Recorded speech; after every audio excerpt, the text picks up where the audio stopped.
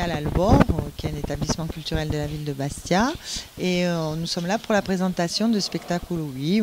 Donc tous les ans, nous présentons au Bastier et, même aux autres personnes la programmation du théâtre et la programmation de l'Albor. Quand commencent ces événements et quand se terminent-ils? Ils commencent fin septembre et ensuite ils se terminent, on va dire, vers la mi-juin.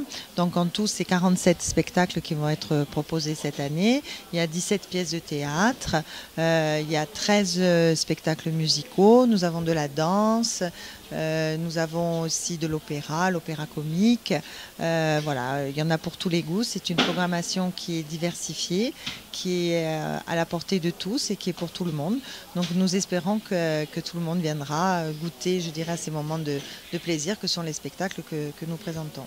les moments forts, il y, en a, il y en a plusieurs, bien évidemment. Après, chacun je dirais, euh, selon ses goûts. Bon, je pense que la pièce de théâtre Art aura, aura beaucoup de, succès. Euh, je pense aux 40 ans d'Aviletta aussi, je pense à Jean-Paul Poletti, euh, je pense au retour aussi de la, de la comédie française. nous allons avoir Eddie de Préto aussi également.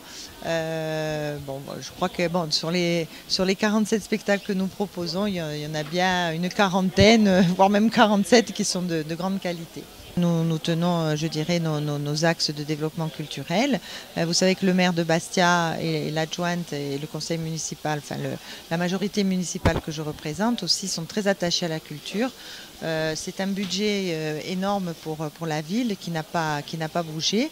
nous pensons que la culture, dans ces périodes, je dirais, sombres et de, de, je dirais de, difficultés, eh bien, la culture doit être offerte à tous et pour tous. C'est pour ça que nous proposons beaucoup de diversité.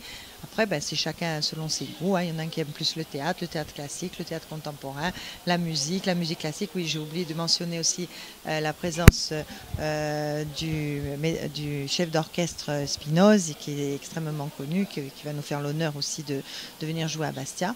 Donc voilà, euh, je dirais une, programmation qui vraiment tient compte des axes politiques de développement de la ville, avec la place à la langue corse, la place aussi à la création, puisque nous avons une dizaine de, résidences de création euh, euh, euh, sur nos sites qui permet, je dirais, aux compagnies de pouvoir créer leurs spectacles et de pouvoir les jouer aussi à Bastia.